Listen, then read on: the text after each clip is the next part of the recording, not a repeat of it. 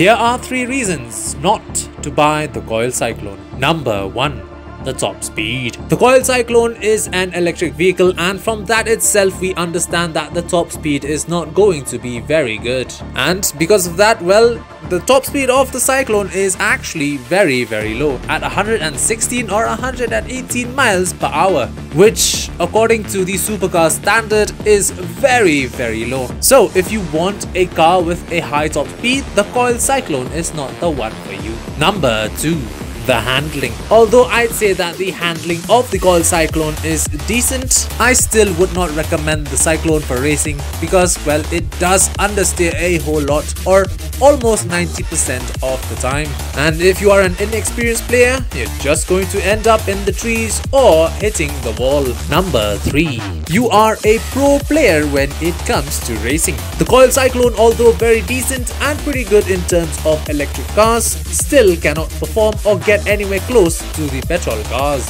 And because of this, it makes picking the Cyclone in a race irrelevant. And not only that, but the Coil Cyclone is also not able to hold the line while cornering at high speeds because it just understeers like crazy. So although the Cyclone is still a pretty good car to pick up if you're just a casual racer, if you are a professional and you want to win every time, it is not a good pick. And well guys, those are the three reasons not to buy the Coil Cyclone.